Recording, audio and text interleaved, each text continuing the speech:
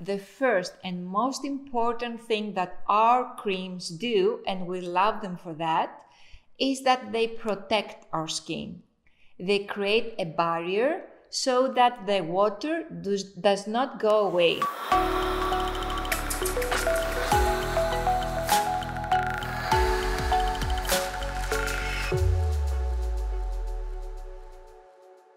Hi Face Yogis, this is Maria Pamboukidi. I am a certified Face Yoga Method teacher, part of the Face Yoga Method coaching team, and also the coach for our lovely Facebook community.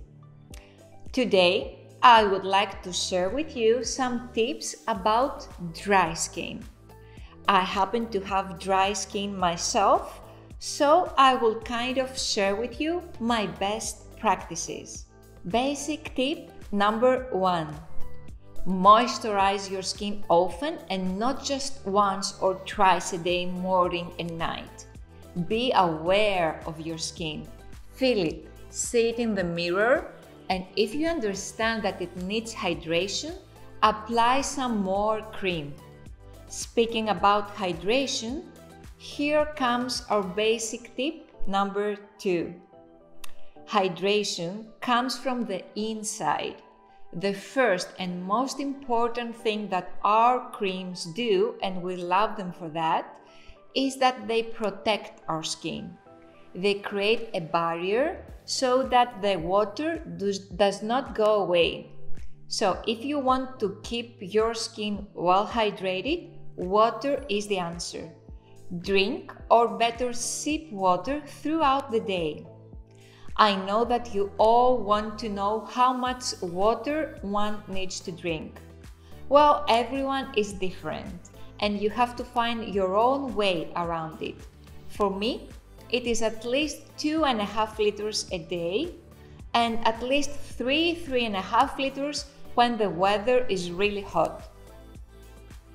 Remember, do not drink a big quantity all at once but sip water frequently throughout your day.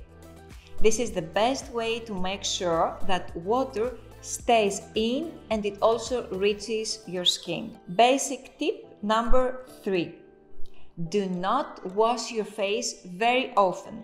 I would say that once a day is enough. But of course, if you use makeup or sunscreen, you always have to remove these. The key here is not to strip your skin from its natural oils. Use a mild cleansing pro product and do not use very hot water.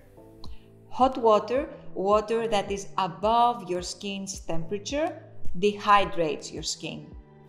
I personally love hot water. I love using hot water in the shower, but every time I have a hot shower, I get so thirsty. Because hot water dehydrates, it makes our natural hydration evaporate. And another tip is that you should moisturize your skin right after you wash your face or you have a shower. If possible, apply your cream within 30 seconds. Try this and you will feel a huge difference on your skin. And please do not forget to moisturize your neck and your eye area even more often that you take care of your face. My list of tips could be endless, but these I think are the basic ones that can make a difference on your skin. I hope you liked my tips for dry skin face yogis. Thanks for watching this video.